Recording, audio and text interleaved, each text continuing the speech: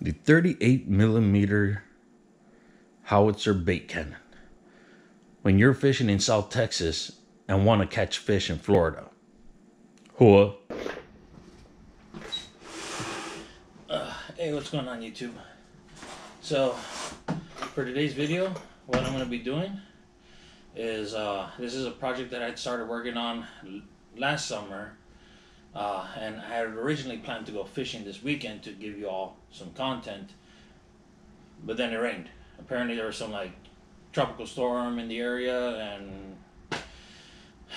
me being the responsible guy, I did all my chores last weekend on my first good weekend with my knee, and I planned for to do fishing this weekend, but then it rained.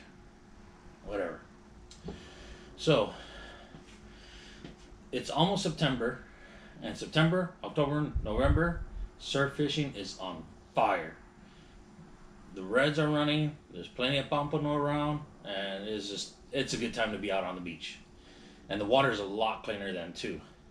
So there's some fish here locally that I've still yet to catch, and one of them is actually a shark, and I would love for this year to get a shark on film so even if it's a small one, I really don't care because uh, the one of the things that I plan on doing for like my bait molds for my cannon, my, my big cannon, is to use something about this length is about three four inches, and I got these cap ends here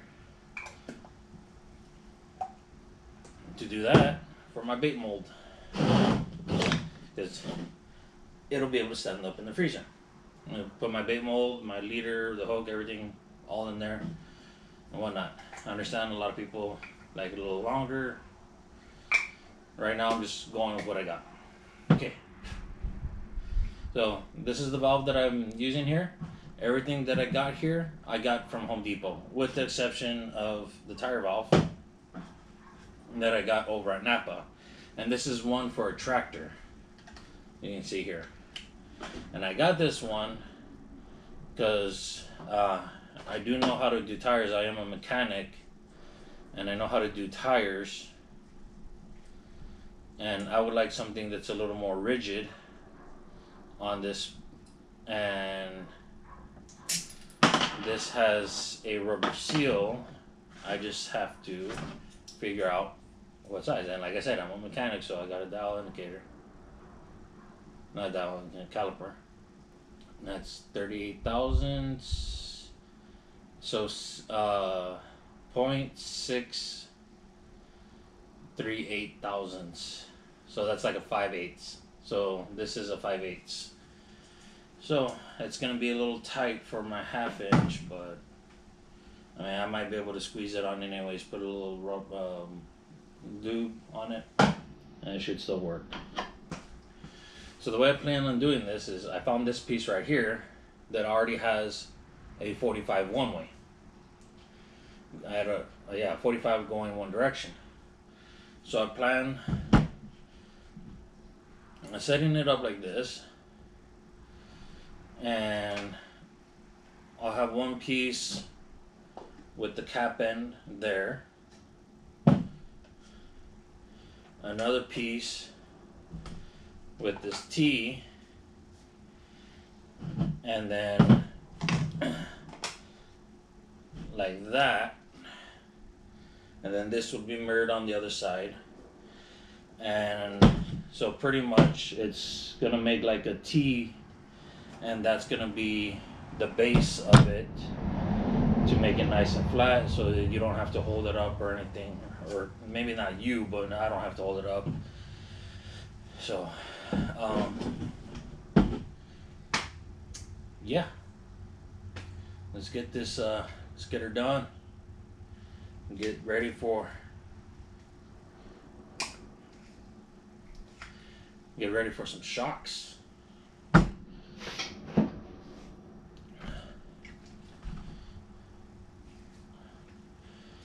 Okay, so first thing I'm gonna want to do is try to drill out that hole. So I'm gonna pick one of these cap ends and put and drill my hole for the valve.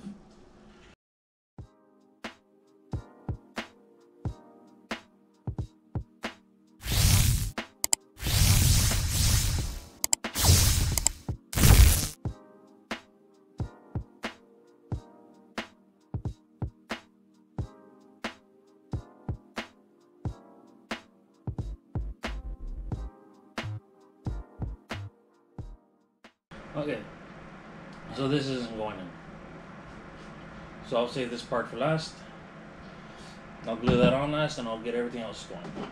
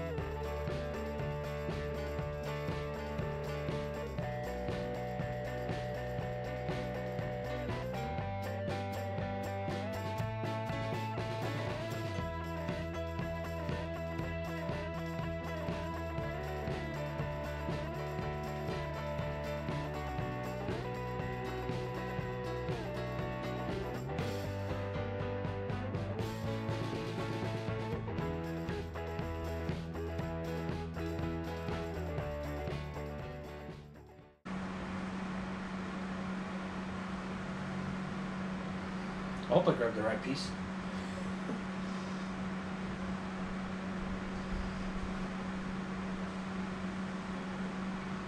I don't think I did. It's gonna be lopsided. Oopsie.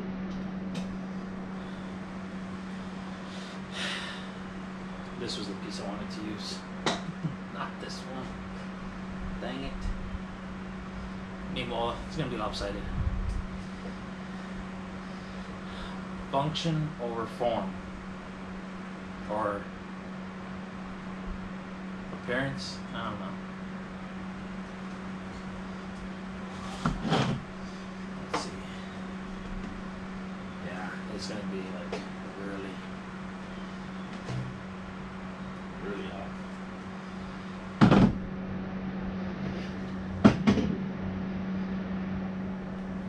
hot.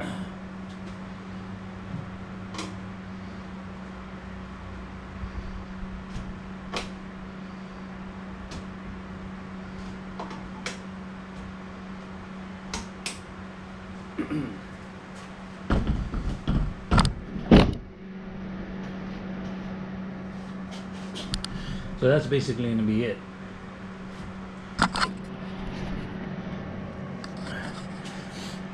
It'll be able to stand up on its own.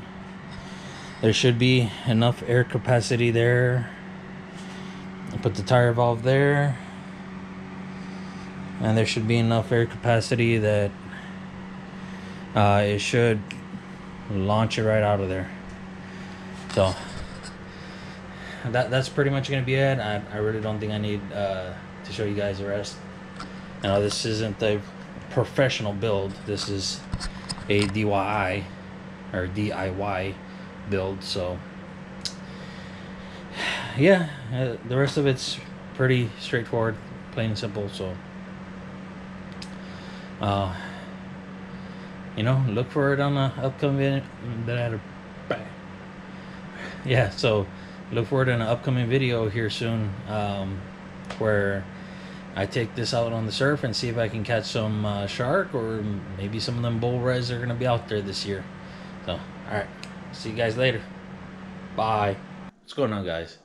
So after I put on the bait launcher, I was showing off my design over to uh, one of the firefighters, and you know, firefighters, you know, uh, a lot of them tend to uh, be into military stuff and whatnot. Uh, he actually made the comment that it looks like a howitzer. I was like, you know what? You're right. I actually looked up uh, what it would translate to since this is an inch and a half pipe. It would be a 38 millimeter howitzer bait cannon. Pretty cool, huh?